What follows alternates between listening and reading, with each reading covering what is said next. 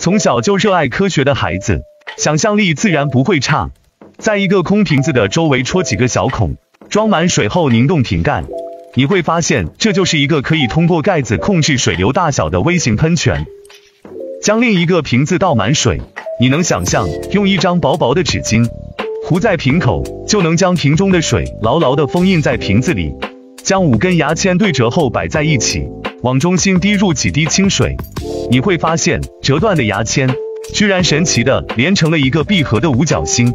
把一瓶水往杯子里倒，你会发现只要瓶口刚好没入水面，瓶子里的水就不会倒出来。一张悬空的扑克牌无法承载更多的重量。如果将杯中的水加满，再放上扑克牌，那将会是另一种意想不到的结果。将纯净水冰成过冷水，倒入杯子里，再放入一颗冰冻的葡萄，水会在葡萄周围瞬间凝结成冰，仿佛拥有魔法般神奇。